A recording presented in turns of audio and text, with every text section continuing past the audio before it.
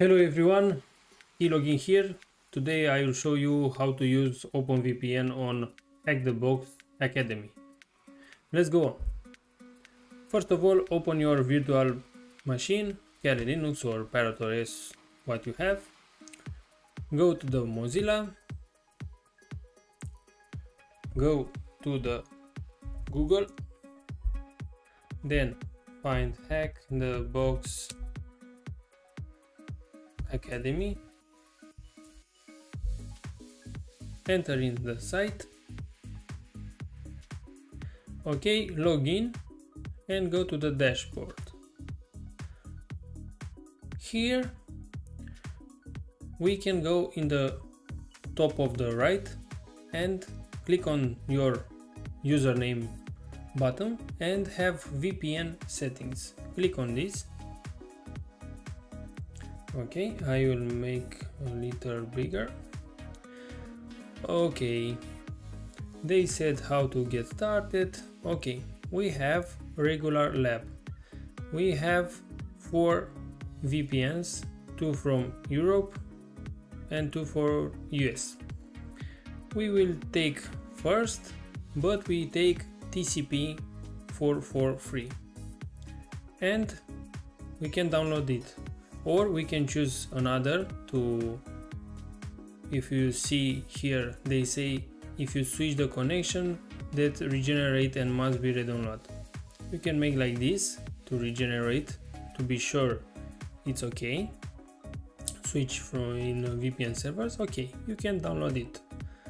Okay you download the Academy regular OpenVPN go to the terminal go to ls wait I make a little big ah, I can't.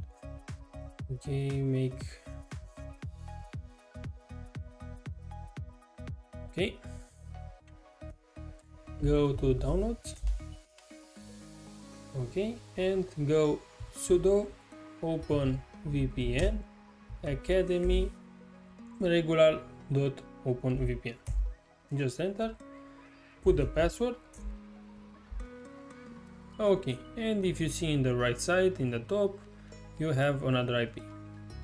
Okay, to verify if you are connected to this, go to another terminal, write ifconfig, and if you see in the the last we have tun 0, we have our IP in the top right. We are connected.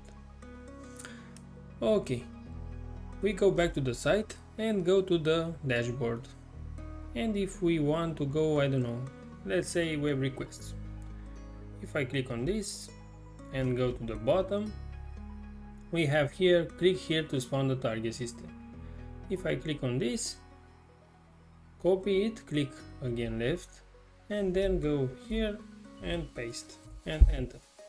And as you see I'm connected to this page but this page is intentional left black. Using curl should be enough as you see this is work. Let's make this fast.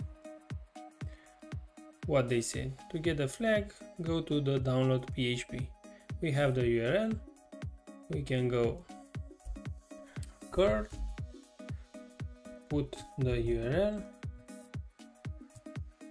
slash download php and as you said we have the flag here and you can paste it. That I make for to see it's okay our connection to the OpenVPN. That is for OpenVPN. Okay that's it for today. Thank you for watching me. And if you have another questions you can put on my comments. And don't forget to like share and subscribe. Have a nice day. Bye bye